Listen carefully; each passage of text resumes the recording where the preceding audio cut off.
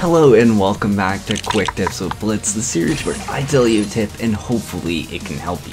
I thought today we should take a look at how to combine your newer road plates and also your older ones together. Let's get started with today's video and let's go.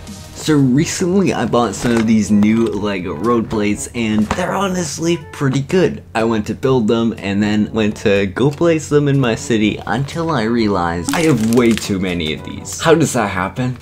Wait a minute. Huh.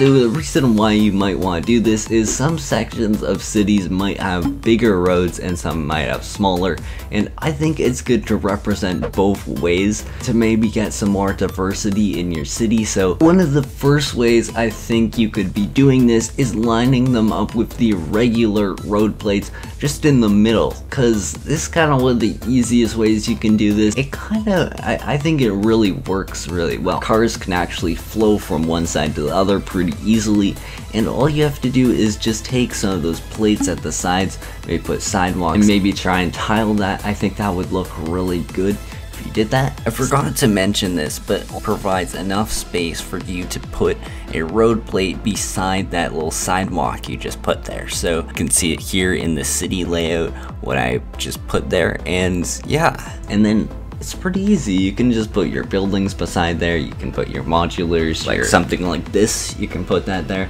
That would work pretty well. There are tons of things that could work in a city like that. And I think it's just a really good strategy. This is actually also pretty easy. This is, all you have to do is create some sort of a ramp at the side. I think a strategy like this could be used if you have like a half building, something like the assembly square. Those things are kind of annoying just because sometimes you have like an empty space there or you don't know what to do because your tables just a bit too big for that. All you have to do is you can place your road plates in between there and I think it creates a pretty nice alleyway. Basically just take some of those ramps that come in the set and build some sort of thing that allows the cars to go up above the ramp and maybe cross to the road somehow.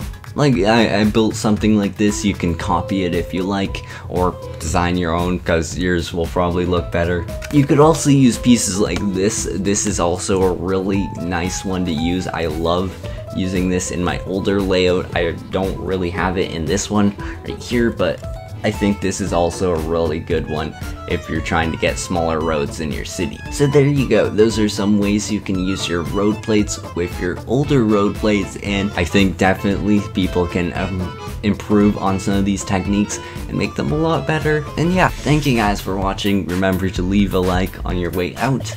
Goodbye and have a good day.